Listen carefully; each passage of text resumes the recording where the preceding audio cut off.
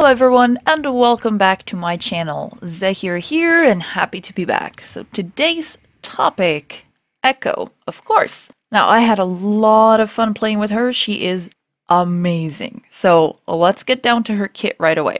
Now this is after the nerf, although honestly you can still fly across the map either way as long as you remove the toggle, but even so it's just not as before. But here is Echo's kit. So first of all we have Glide. So Glide is Echo's passive ability. So she gets uh, movement speed while flying horizontally. Now, I don't know if she's still going at the same speed or not. It doesn't seem like she does. Now, before the nerf, it was 50% more than what she was going before. Now, I'm not entirely sure. From what I understand, if you cancel it, loses that speed. But at the same time, she does feel faster than before. So just the way the devs explained it, I'm not entirely sure how it works, but she does feel like she's going faster than she was on the ground. So I don't know, not entirely sure about that one. And then of course vertical speed, that will be 4 meters per second. If you want to give me some feedback, maybe if you have more accurate information than what I do. Right now I'm reading off of Overwatch Wiki, so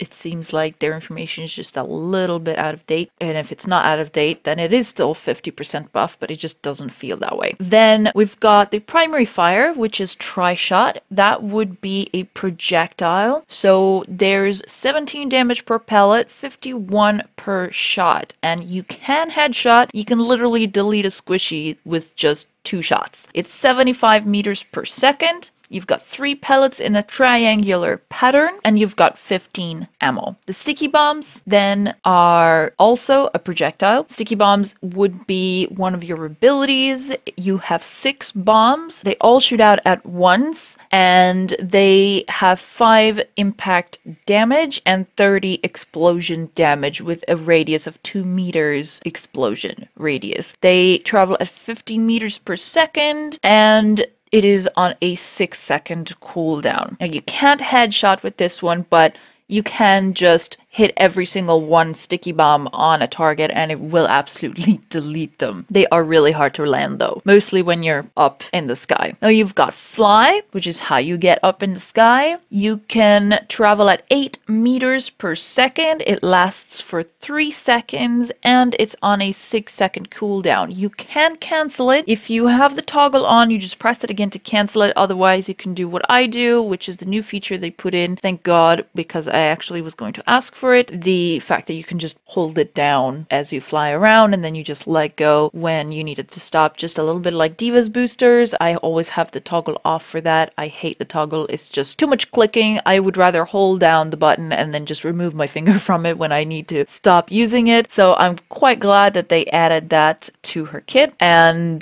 of course, just like Mercy's Valk, you just hold space to go up and you crouch to go down during the flight. And that will just give you the control that you need to be up in the air. Then we've got focusing beam. So that is obviously, as the name says, it's a beam. Damage is 50 per second, but if the target is at below 50 HP, then you do 200 per second, which is crazy. The max range is 20 meters, which I think that should be nerfed, definitely. 20 meters doesn't sound like a lot, but it is a lot. And I understand that the devs wanted her to come in a little closer to be able to do the beam to make sure that you get that reward of finishing off your target, but you need to get close. And I think 20 meters is not close enough. Uh, 20 meters is still quite far. So maybe something like the range that Tracer needs to go at to her fall off, maybe started at like 12 meters. You want to put it at 15 meters, fine, okay, but 20, 20 is much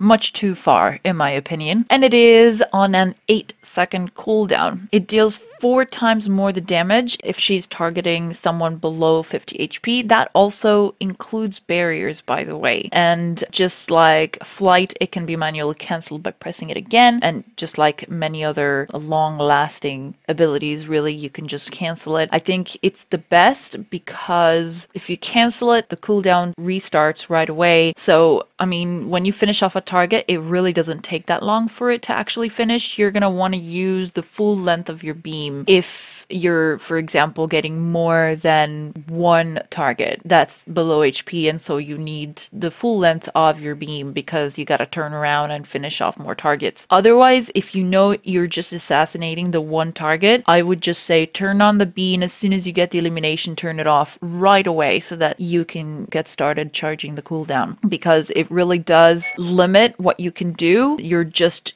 shooting out that beam, you can't really protect yourself that much. If somebody's shooting at you, you do not a lot of damage. So it's just better to cancel it, and that way you're ready to protect yourself if somebody's shooting at you. And then finally, we've got the duplicate. So duplicate is the ultimate. It is 40 meters range, so anyone within that range, you're gonna be able to copy them and literally copy them their character. It lasts 15 seconds unless you get killed, but if you're able able to last that long. It's 15 seconds and you get 6.5 times faster ult charge than the enemy you copied, which is crazy.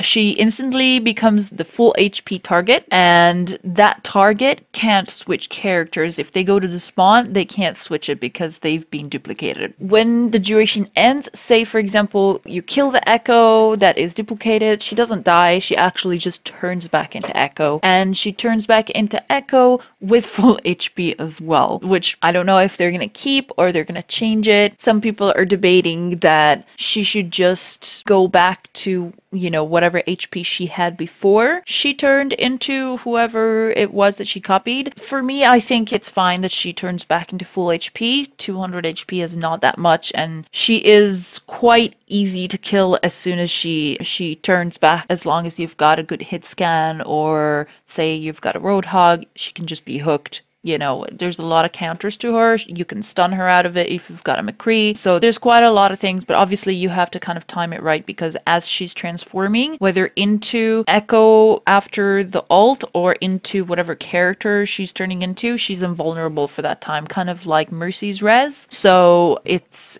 obviously you have to wait until you see Echo become Echo, then you can stun her to stop her from flying away, and then you can kill her. So there's quite a few ways that you can deal with that. I don't think that it would be overpowered for her to go back to full HP, really. But that's just my opinion. And then we've got a few more bits of information here from Overwatch's wiki. So most developed abilities will disappear after 4 seconds, except for Sombra's Translocator, Mei's Ice Wall, Sigma's experimental barrier, Symmetra's photon barrier, and Zarya's projected barrier. Those disappear right away. And then Junkrat's concussion mine and RIP-Tire detonate immediately. Now, I did test this in the training range and it's pretty awesome. Say you turn into Zarya, you get your grav just in time before you turn back into Echo and you use it. then you're you're back into Echo, and a, a, huge a huge combo is actually Grav with Echo's sticky bombs. You can get a lot of kills with that, and from the air, you're gonna most likely get them all. Imagine you being the one putting the grav in, and then you fly above them, and then you put your sticky bombs, and imagine the amount of damage that you do, the amount of eliminations that you can do, because the grav is still there for at least four seconds. The grav is going to have its full length of time, whether you are still Zarya or you go back to being Echo, and it's absolutely crazy. The damage over time and heal over time effects continue as normal obviously, except for any buffs or debuffs applied duplicated heroes. For example, if you're copying Nanoed Lucio, you're not going to become a Nanoed Lucio. you're going to become just a regular Lucio. Or if you use Sound Barrier, you're not going to get that Sound Barrier, etc. So on and so forth. Echo obviously cannot target another Echo, and non playable characters like Bob, for example. If Echo targets a D.Va pilot, then she will duplicate the mech, and she can't target behind barriers, which is the recent bug fix that they did. Now, I don't know if this is intentional or not, or if this is another bug, but there's also something else that is not mentioned here in the Overwatch wiki, which I have